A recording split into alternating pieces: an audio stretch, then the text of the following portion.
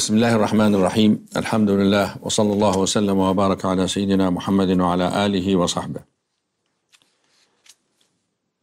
نتابع اليوم ما بدأناه من حديث في موضوع البلاء ونتعرض أولا قلنا في حلقة السابقة أن الثري أو الغني مطالب بالشكر على هذا على الابتلاء بهذه النعمة وقلنا إن كانت فلل فيتصدق. طبعا لا تصدق بفلل وإنما الشكر هنا للذي عنده مساكن كثيرة ومستريح في المساكن أن يقدم للمحتاجين والمتضايقين والذين لا يجدون سكنا من الشباب أن يبني لهم مثلا بعض عمارات أو سكن ويقدم لهم هذا العمل. هذه هذا هو يعني ما ما نقوله من أن شكر النعمة شكر كل نعمة من جنسها.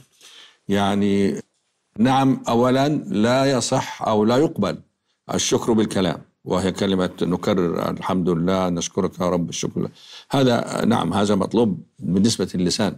لكن الشكر الحقيقي الذي هو واجب في هذه الأحوال هو أن يخرج مما امتلك.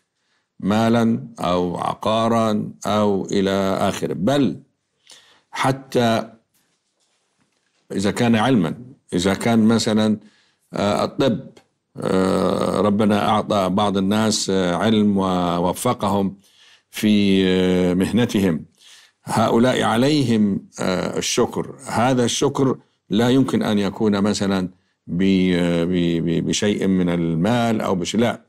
وإنما بأن يتقن هذا العمل ويقدم جزء من هذا العمل مجانا للمحتاجين للمرضى المحتاجين وهذا هو لو كل إنسان ربنا أعطاه هذه النعمة أشرك غيره بقدر ما يستطيع من جنس هذه النعمة هنا يحصل التكافل الاجتماعي والذي هو مبني على أساس ديني وعلى أساس شرعي.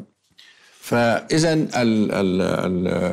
الشكر كما هو مطلوب كما أو الصبر كما هو مطلوب في الابتلاء بالمصائب هو أيضا مطلوب في الابتلاء بالنعمة ومعنى الصبر هنا هو الصبر على إخراجها والصبر على تحمل تبعات هذا الإخراج سواء كان وقت أو سواء كان إجهاد أو سواء كان إرهاق أو سواء كان على حساب متعته على حساب إلى آخره.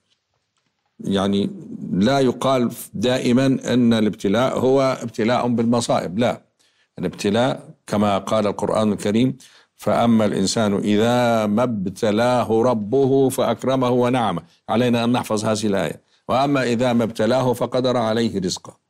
وهنا يقول ربي اكرمن وهنا يقول ربي اهانا. طبعا هو يعني عتاب من الآية للذين يضيقون ذرعا بال بهذه الأنواع من الابتلاءات. لكن الإنسان قد وبالتأكيد قد يتعرض بعض الناس لهذه الابتلاءات سواء كانت ابتلاءات بالخير أو ابتلاءات بالشر كما ذكرنا الآيات الكريمة. والنبي صلى الله عليه وسلم أيضا يسوي بين البلاءين في حديث صحيح يقول ويتعجب فيه. يقول عجبا لأمر المؤمن.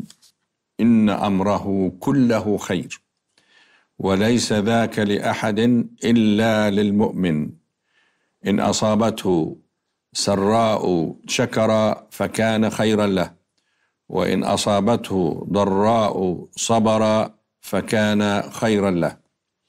الحديث واضح جدا في أنه يقرر أن المؤمن إذا ابتلي ببلاء فيه ضرر وصبر فهو خير له ونفس الشيء أن ابتلي ببلاء هو خير وشكر فكان خيرا له وك يعني يستحق الثواب وهو طريق إلى الجنة. أتوقف عند مناط الثواب أو يعني الثواب أو سبب الثواب في الاثنين. سبب الثواب في الثواب في الاثنين المعاناة. لأنه لا تكليف أو لا ثواب إلا بتكليف والتكليف مشقة. فأين المشقة؟ واضحة بالنسبة للفقير الصابر. لكن بالنسبة للغني الشاكر كثيرون طبعا لا يتصورون أن ها هنا مشقة يعانيها الغني الذي أعطي الكثير. وهذا الخطأ هذا خطأ هذا الخطأ مبني على خطأ سابق وهو تفسير الشكر. تفسير الشكر هو عند الجميع أنه يقول آه الشكر لله الحمد لله أو يعني يتصدق بشيء ما. لا هذا هو التفسير الخاطئ أو هذا هو الفهم الخاطئ. المعاناة الشكر العملي اللي هو مقصود في الأحاديث وفي القرآن الكريم هي نفسها معاناة الصبر عند الفقير على الفقد وعلى الحرمان. وكما قلنا في كلام سيدنا عمر ربما تكون معاناة الفقير الصابر أهون من معاناة الغني الشاكر. ولكن الجميع كما قلنا الصابر والشاكر في الجنة. وكان شيوخنا يقولون لنا في يعني مما حفظناه عنهم ولست أدري ما هو أنه إحدى السيدات الزوجات الجميلات قالت لزوجها وكان دميما أنا وأنت في الجنة.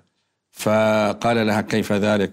قالت ابتليت بي فشكرت وابتليت بك فصبرت والشاكر والصابر في الجنة.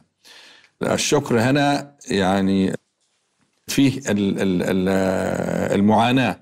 على الأقل معاناة التفكير في أنها كيف يعني آه، قبلت وتعيش معه بحالته هذا فلا بد من الألم لا بد من التألم لأن التكاليف هي مناط الثواب لا ثواب بدون تكليف. إلا طبعا يعني ما آه، آه، يفيضه الله سبحانه وتعالى كرما على الآخرين. لكن عادة ارتبط الثواب بالتكاليف.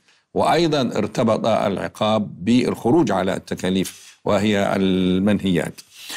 آه، هناك نقطة سريعة وهي أنه إذا كان الأمر كذلك فلا علاقة بين الابتلاء وبين حال العبد. يعني لا يصح أن دائما نفسر الإنسان الذي يبتلى بشيء أو تنزل عليه مصيبة من المصائب بأنه هذا بأن هذا الرجل رجل سيء ورجل آه، غير صالح. ورجل يعني ربنا ابتلاه بعمله. إلى طبعا هذا غير صحيح. فنحن نعلم أن آه، أشد الناس بلاء الأنبياء. فالأنبياء أهل بلاء. وهذا واضح يعني في سيرتهم وفي تواريخهم. فاذا لو أن البلاء بالمصائب دليل على أن هذا المبتلى رجل شرير أو رجل فاسق أو رجل فاسد أو رجل مغضوب عليه من الله سبحانه وتعالى لكن نعوذ بالله لقلنا إن الأنبياء هم أحق بذلك. مما يدلنا دلالة واضحة على أنه لا علاقة بين نزول البلاء وبين حال هذا الشخص المبتلى وأنه كما يبتلى الصالح يبتلى الطالح أيضا. شكرا لاستماعكم والسلام عليكم ورحمة الله وبركاته.